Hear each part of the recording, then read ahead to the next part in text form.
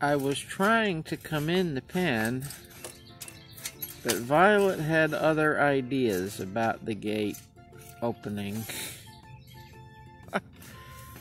she decided it was something she could scratch her head on.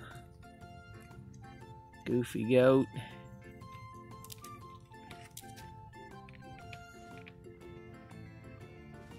You gonna let me in?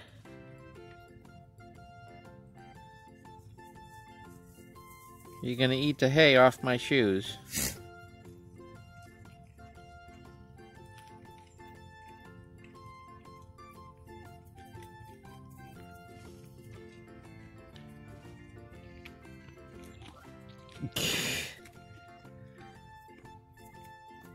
you goofy goat.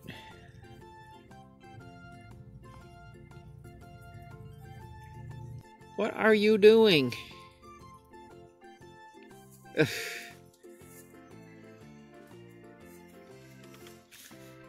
Goofball.